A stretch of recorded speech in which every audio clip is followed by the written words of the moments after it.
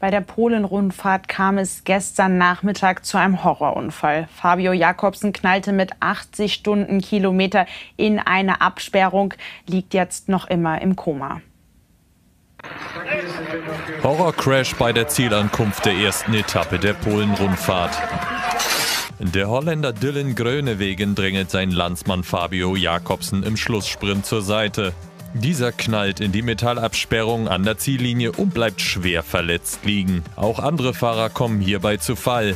Jakobsen wird noch vor Ort behandelt, dann per Helikopter ins Krankenhaus gebracht und ins künstliche Koma versetzt. Rennärztin Dr. Barbara Jeschina bestätigt später im TV-Sender Pulsat den kritischen Zustand. Ein gebrochener Gaumen erschwert das Intubieren. Unfallverursacher Grönewegen wird nachträglich disqualifiziert, Jakobsen zum Sieger erklärt. Mittlerweile hat der Weltverband UCI weitere Maßnahmen gegen Grönewegen eingeleitet.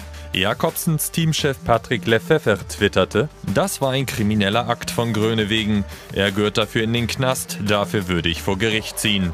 Am Morgen danach sagte Renndirektor Czeslaw Lang, befindet sich Jakobsen in einem ernsten, aber stabilen Zustand.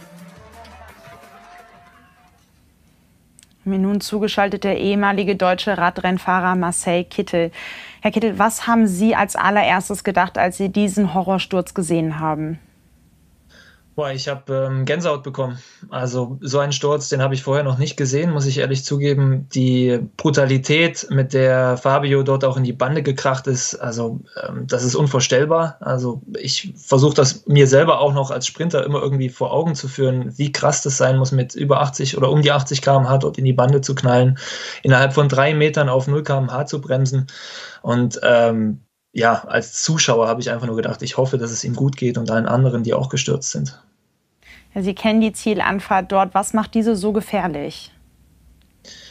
Ja, der Trick dort als Rennfahrer aus Rennfahrersicht ist einfach ähm, mit der Geschwindigkeit auch ähm, am Ende zu spielen, die richtige Position zu halten. Der Unterschied wird dort nicht gemacht ähm, mit, mit dem eigenen Tempo der eigenen Beine, sondern man muss mit einer cleveren Position im richtigen Moment nach vorne fahren und ähm, dann das Tempo eben zum, Ziel auch halten können.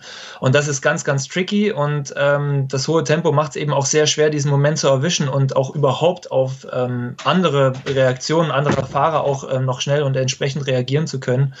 Und deswegen, ja, konnte Fabio auch gestern in dem, in dem äh, Szenario dann nicht mehr viel machen, ähm, als er auf der rechten Seite dort dann ähm, in die Bande gekracht ist.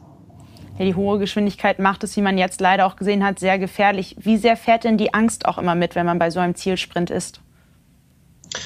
Ja, ich glaube, man muss schon sich auch bewusst sein, dass die Rennfahrer auch selber wissen, welcher Gefahr sich, sich in einem gewissen Rahmen auch aussetzen. Ich glaube, die Sprinter, die jetzt auch ähm, lange genug dabei sind, die kennen das, die sind sich dem bewusst, die erklären das für sich auch zu einer gewissen Normalität. Aber sowas, was gestern eben auch passiert ist, der Sturz, die Heftigkeit, das ist wie ein Wake-up-Call ähm, für alle. Ähm, auch dahingehend, ähm, sich nochmal bewusst zu werden, wie gefährlich der Sport selber ist. Radsport ist nun mal gefährlich. Es ist einer der gefährlichsten Sportarten, die man machen kann. Ähm, und schwere Verletzungen passieren leider. Und ich glaube, ähm, der muss man sich bewusst sein. Jetzt haben wir gerade in dem Beitrag schon relativ klare Worte auch in Richtung Grönewegen gehört. In Ihren Augen, wer war schuld an diesem Unfall und vor allem muss Grönewegen jetzt dafür bestraft werden? Ja, die Frage kommt natürlich jetzt sehr, sehr schnell auf und man muss, glaube ich, ganz klar ins Reglement schauen, was dort geschrieben ist. Und da gibt es zwei Punkte, die relevant sind für gestern. Das eine ist der generelle Punkt, ähm, dass man einfach Rücksicht äh, auch haben muss auf seine Rennfahrerkollegen, auch in einem Szenario wie dem Sprint, wo es doch hoch hergeht. Ähm, da sind auch teilweise ge teilweise Hitzköpfe dabei, natürlich, die sich durchsetzen wollen, die gewinnen wollen, gerade nach so einer langen Durststrecke, wo es keine Rennen gab, jetzt durch die Corona-Krise.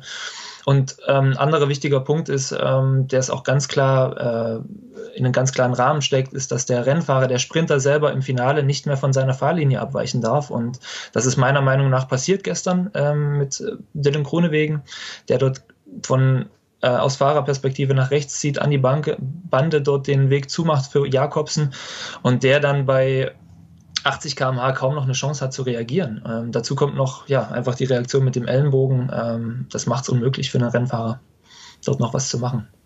Vielen Dank, Marcel Kittel, für Ihre Einschätzung und Analyse. Dankeschön.